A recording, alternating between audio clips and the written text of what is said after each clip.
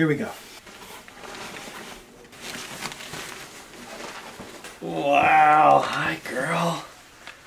Wow, look at that.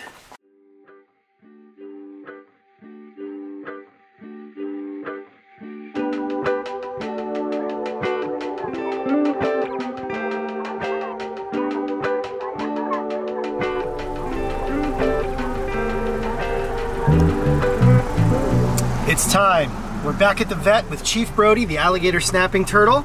And uh, if you guys aren't caught up, click the link above me to watch the first video we did on him. But we are here to see if he has put on any weight. Fingers crossed that he has. And we're also going to do a recheck on his blood.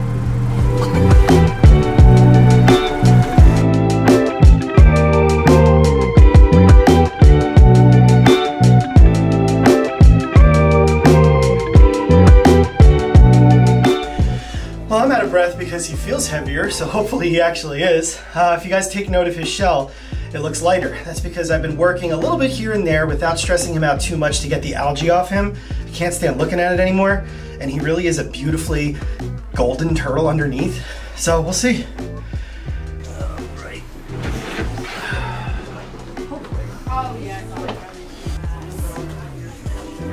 Two point two pounds. There's 24 kgs. That's that's kgs. Oh, so he's up? He's up. He is up. He up went two and a half, almost two and a half pounds. No way. Yeah. Okay, so my stress level with Chief Brody might be starting to go down a little bit. He put on two pounds. That's awesome. Two solid pounds. And while he's not out of the woods yet, I feel good about it.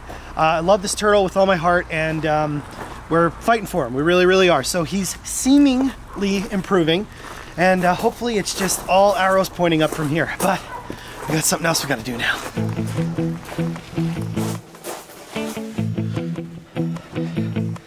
Okay, I'm really excited. As you guys may know by now, it's not just turtles and tortoises here at Garden State Tortoise. We keep all reptiles and some amphibians. And well, um, the animals that just came to us right now are something I have been super excited about for a long time. Our good friend Kevin McCurley of New England Reptile Distributors just sent us two very intelligent, very powerful animals, and uh, I need to get them out of the box. And I'm also going to use welding gloves just to be safe.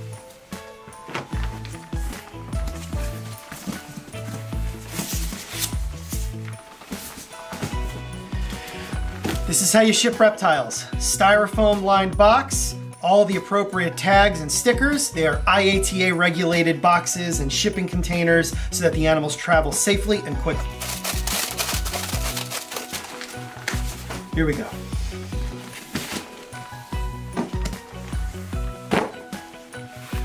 Oh, we got zip ties. I need something to cut real quick.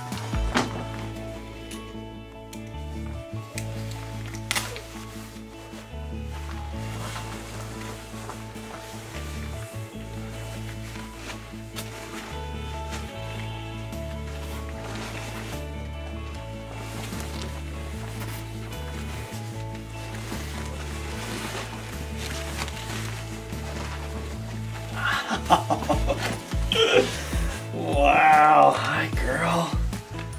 Wow, look at that. This is the Argus monitor. Native to the Papuan Island, New Guinea, and Indonesia. This is the female. She is fully grown. This is one of the smaller monitors, not really small like our Ackie monitors, which are the dwarf spiny tails from Australia, but they are by no means massive like a water monitor or a Komodo dragon. Nonetheless, very intelligent, powerful animals capable of not only inflicting a very serious bite, but um, their nails are insanely sharp and they can tail whip. So, although Kevin said I probably didn't need the welding gloves because these animals are very used to people and rather tame, um, I'm doing this to respect them. I am respecting the fact that if they want to, they can really hurt me, and they're in an unfamiliar place right now. So she is stressed out, naturally. She's been living in the same place for a long time, and now she's gonna live here. And you hear that sound she's making? She's puffing out. But gotta assess her health. We gotta make sure that she traveled well and that she is okay. But that's what she's doing to just try to intimidate me. Just look at the intelligence in those eyes. She's just, she's studying me like I'm studying her. All right, let me get her settled, and then we're gonna pull the other one out.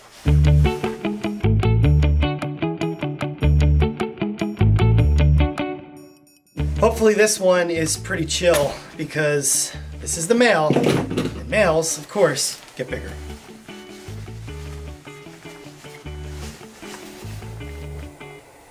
Just a little bigger. All right, buddy.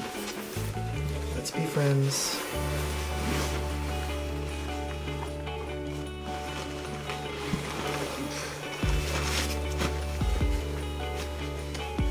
Big lizard.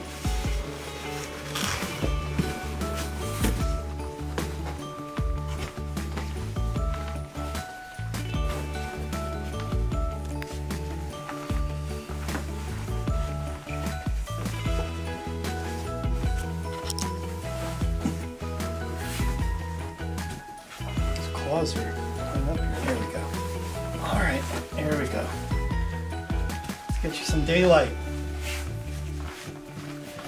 There he is. Hey, bud. That right there is a powerful lizard. This is the male Argus monitor that Kevin sent us. He is every bit of awesome. Look at his forearms. Now, something you guys should know about Argus monitors right away is they do something that we call tripoding, where they will actually use the tail and their back legs and they will stand straight up, almost like a begging dog. And they use that to survey the land, really take in what's going on around them. Another sign of that intelligence and the capabilities that these animals have up here. Don't underestimate a monitor lizard, whether it's a giant one, a medium one like this, or even a little Ackie. These animals are just plain smart. They're problem solvers, they're thinkers, they're doers. So, you look fantastic. I'm sure you have had it.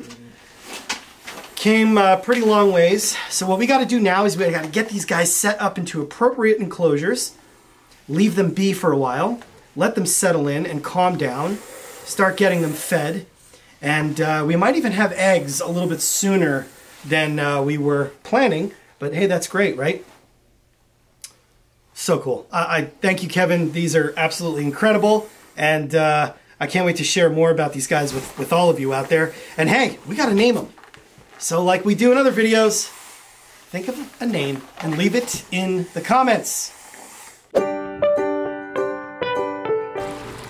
One other thing I got to do right now is check on some of the hibernating turtles over here at the Aquascape Pond because we've had such an insane warm up for like the last 10 days. We actually got to 70 degrees just a couple days ago um, and so many of the turtles and tortoises have been coming out. Usually it's not that big of a deal because they're in brumation, which is kind of a torpor of sorts as opposed to a full hibernation where they're completely inactive. Um, so naturally reptiles will wake up when the temperature spikes a little bit and then be able to go back down to rest. But it was such an extended warm period that I'm starting to get concerned for a couple of the turtles out here that were just like acting as almost as if it was spring already. So I want to go through here and I want to make sure everybody's starting to hunker down again because it's getting cold again.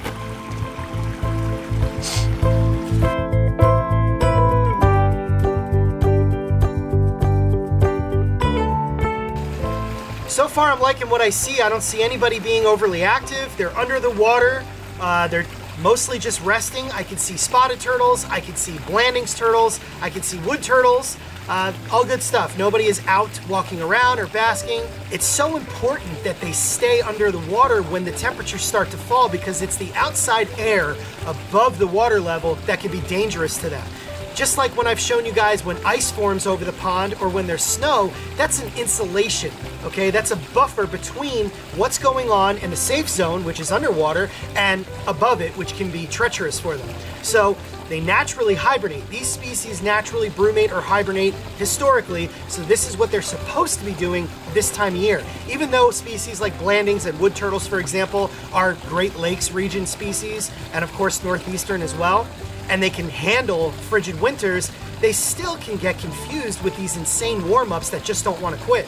I love warm weather. I can't wait for spring to come back, but I don't want it here yet. I want to know that my turtles are safe and absorbing oxygen through the water through their skin, mouth, and of course, their cloacas. That's how they are able to stay under it, inactive for such prolonged periods without any problems.